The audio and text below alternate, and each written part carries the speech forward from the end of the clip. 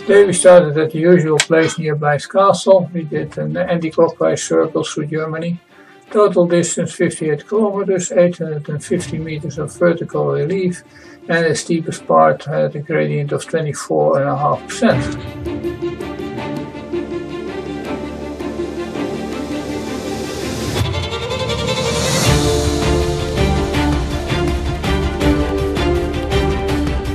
Highlights of today were the uh, excellent cycle paths, perfect infrastructure here, and the uh, very nice views around the countryside.